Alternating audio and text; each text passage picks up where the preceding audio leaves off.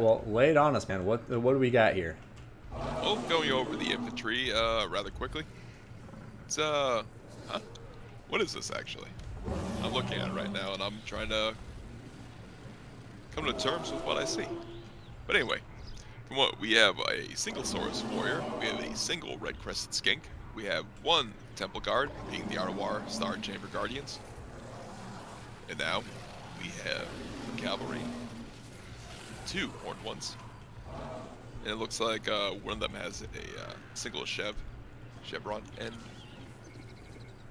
we have Sacred Kroxigors, a Feral Carno, and we do have Croaky Boy. And he does have the Shield of the Old Ones. Supreme Shield of the Old Ones, that is. And the Golden Death Mask.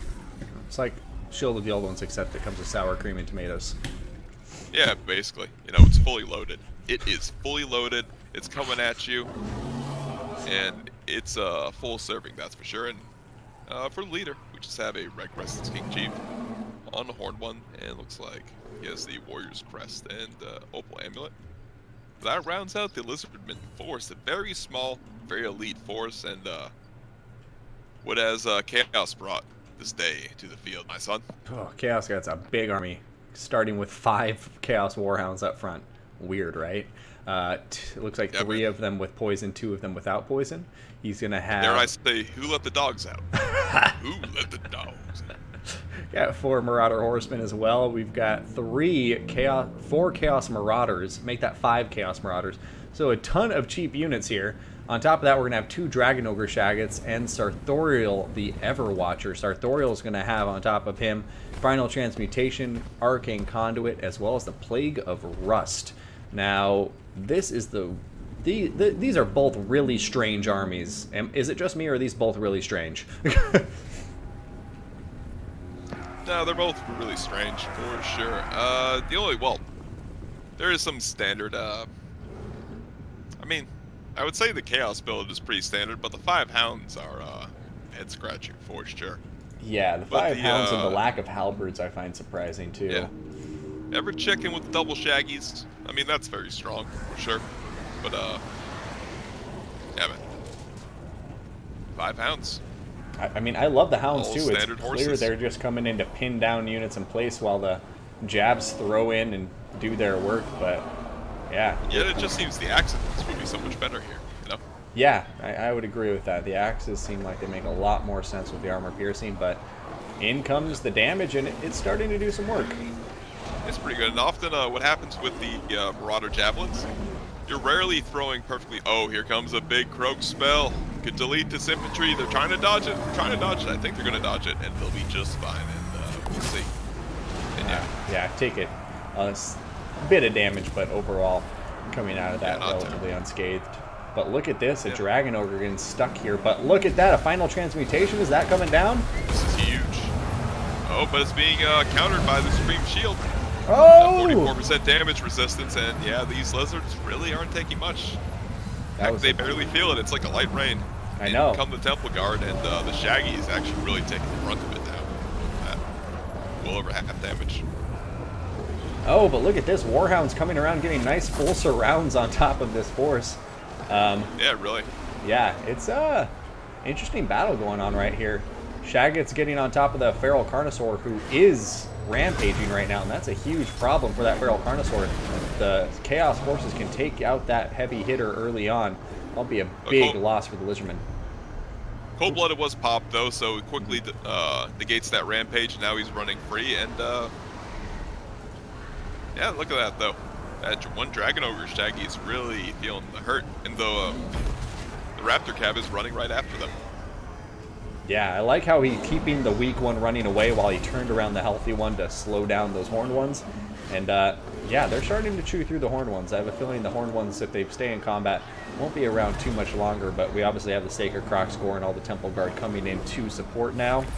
Um, but man, oh man, these two atypical armies still duking it out. And uh, yeah, meanwhile over here in the back line, just to check on that really quick, we do have horned ones rampaging, chasing off some warhounds. And the red-crested skinks are really far out of position at this point, but I don't know. It, the balance of power is still relatively even. Indeed, um, a lot may just come down to some RNG on this Feral Carno. Uh, they can take out that Feral Carno, it seems like the Shaggy will probably just pummel mm -hmm. Skink Chief here, as there's still two Shaggies on the field. Oh, big yeah. hit on top of the red crested Skink Chief there. Yeah, wow. He's getting smashed. Yeah. I'm really waiting to see when that next upgraded final transmutation can start coming down. As long as they can neutralize Lord Kroak or something before then, that will be absolutely devastating because this Lizardman army is so small and so clumped up that final transmutation should be able to do a ton of work. Indeed, and the remaining jabs are coming down and just punishing this Carno. And, yeah. Uh, yeah. You think a final trans must be Oh, you never know. It was an upgrade prior, so. It's true, yeah. And, you know, he still has Plague of Rust. I haven't been seeing him cast that, but that's a potential thing. And maybe he's just being cautious, too, recognizing he doesn't want to waste a final transmutation when Kroak is still around.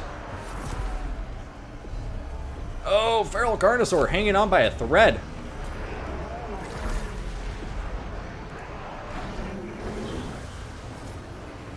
Alright, I think you we know, might be seeing it.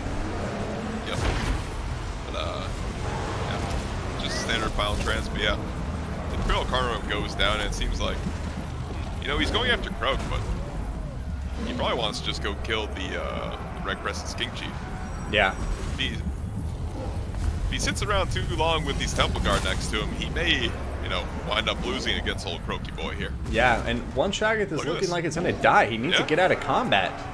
Yeah. It's just so careless at this point. You're like, you have a good position do not leave Shaggoth in combat when there's Temple Guard nearby. Yeah, with that Temple Guard alive, and as he was trying to kill Lord Kroak, but Lord Kroak is just stubborn, unbreakable, he's not going anywhere. That pesky little King Chief came in and just killed that Shaggy. And now it's, uh, oh, Kroak. He's vengeful, he's angry, he's gonna banish these, uh, these hounds, it looks like. No, it looks like the hounds are gonna maybe get out in the nick of time there. Yeah, looks like it. Yeah, they took some damage, but yeah. They got out for the most part. No! Look at that! Skink Chief. It's like he's getting routed. Looks like uh, Chaos is coming back with vengeance themselves. Yeah, it looks like the Star Chamber Guardians and uh, Lord Kroak are the only things Kroak, um, you know, yeah. holding strong for the Lizardman, and I think this is a Chaos victory now, uh, Romulan. This has been a great battle, and uh, honestly, was kind of surprised to see the Chaos pulling it off here.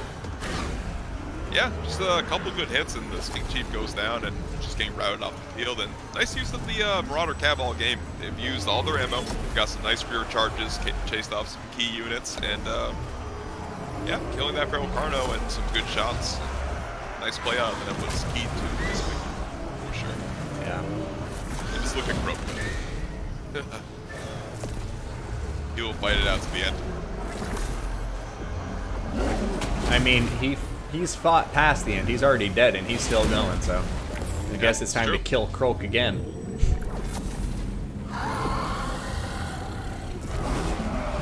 Oh, ho! There he goes. And that's a GG first game going to Hawticecubes with his Warriors of Chaos.